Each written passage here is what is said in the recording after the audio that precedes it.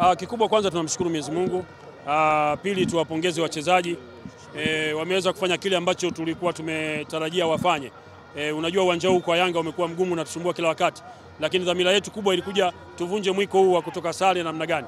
Tumepata goli moja, tumetengeneza nafasi kama tano, tungeweza kupata hata magoli matatu ambao sisi tuliona kabisa tumetengeneza ya kuweza kutuletea ushindi wa, ma, wa, wa pointi tatu na magoli hayo, lakini tumepata moja pointi tatu, tunasema ni hatua moja kwenda mbele. Kwa hiyo kikubwa tuseme Mtibwa ni timu nzito, ni timu ngumu, kwa hiyo wameweza kutuzuia katika njia ambazo tulizitengeneza, na game plan yetu kwa kipindi cha kwanza ilikuwa tuweze kupata goli lote la mapema, ili kipindi cha pili tuweze kuangalia tunamaliza mchezo. Lakini ni wasifu ni wapongeze Mtibwa kwa vile wamecheza kwa umoja, wameweza kutu, kutushambulia dakika za mwisho baada ya kupata goli, kwa sababu tulikuja turudi chini katika kulinda goli, lakini vile vile tukaja tukafanya mabadiliko ambayo yametusaidia kuondoka na pointi tatu. Hilo ndio jambo la muhimu.